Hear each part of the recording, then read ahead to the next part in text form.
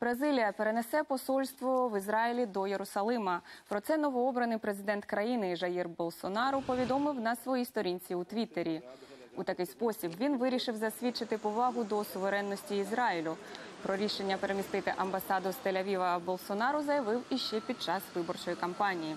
Бразилія стане третьою країною, яка перенесла дипломатичну установу до Єрусалима після США та Гватемали. Я не бачу нічого складного у перенесенні посольства до Ізраїлю. Це не питання життя і смерті. Ми з усією повагою ставимося до арабського світу. Бразилія мирна країна, тож ми не хочемо створювати комусь проблеми. Ми прагнемо лише знайти мирний шлях залагодження конфлікту.